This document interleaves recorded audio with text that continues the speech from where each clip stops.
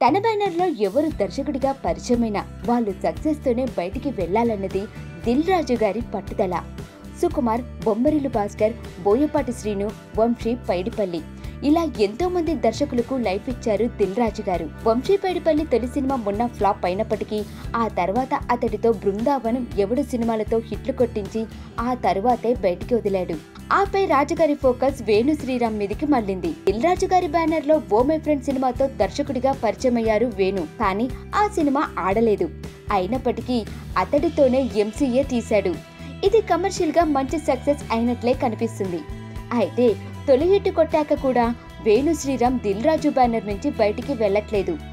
అతను తన తర్వాత సినిమాను కూడా రాజుగారి బ్యానర్లోనే చేయబోతున్నాడట. ఎంసీఏ విడుదలయ్యాక రాజుగారు తనకు ఫోన్ చేసి అభినందించాడని ఇదే బ్యానర్లో తన మూడో సినిమా చేయడానికి కూడా ఓకే చెప్పాడని వేణు శ్రీరామ్ వెల్లడించారు. ఓమే ఫ్రెండ్ ఆడకపోయినా తన మీద నమ్మకంతో మళ్ళీ అవకాశం ఇచ్చిన దిల్ రాజు గారికి రుణపడి ఉంటానని అన్నాడు.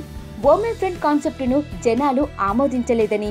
అయితే తన నిజ జీవితంలోని వ్యక్తులు సంఘటనల ఆధారంగా ఎంసీఏ తీశానని చెప్పారు. ఇక సినిమాలో కనిపించే వదినా మర్ది బంధం తాలూకు సన్నివేశాలన్నీ తన జీవితం నుంచి తీసుకున్నవే అని అన్నాడు.